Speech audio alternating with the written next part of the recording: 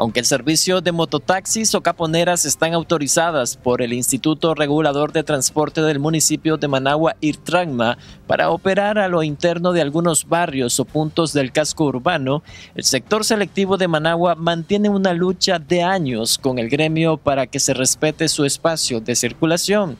Vidal Almendares, presidente de la Federación de Cooperativas de Taxis, manifestó que el problema radica en la falta de control de las autoridades gubernamentales, puesto que estas unidades interfieren en las rutas donde ofrecen el servicio los cadetes de taxis.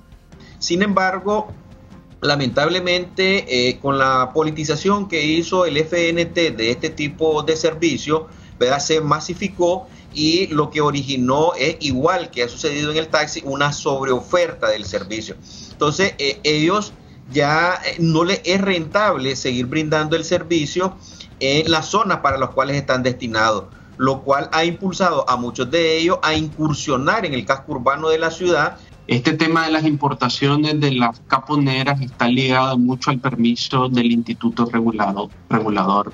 Eh, el permiso de la importación sale desde adentro, desde la administración.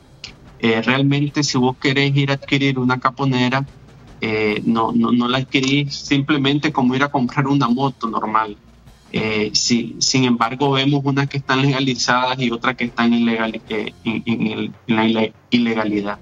El representante del sector selectivo aseguró no oponerse a la nueva forma de sobrevivencia de muchas personas que a falta de empleo han optado por laborar en las caponeras o mototaxis. Sin embargo, cuestionó la desnaturalización del servicio que por una existente sobreoferta hoy buscan nuevas alternativas de conseguir usuarios, pero de forma ilegal.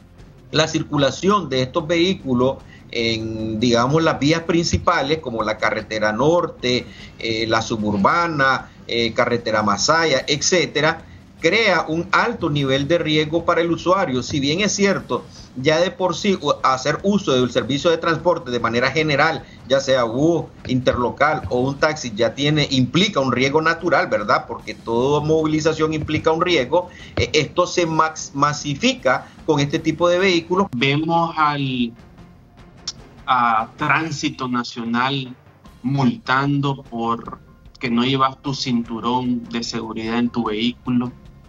Sin embargo, vemos por otro lado la permisividad de estas autoridades con este tipo de sector la Fenicotaxi aseguró no tener información detallada sobre las concesiones de mototaxis o caponeras otorgadas por el Intrama, pero asegura que se ha rebasado la capacidad de las unidades al tener mayor presencia en los mercados, hospitales, los barrios, paradas de buses, centros educativos y caminos con poco acceso para el transporte público y selectivo.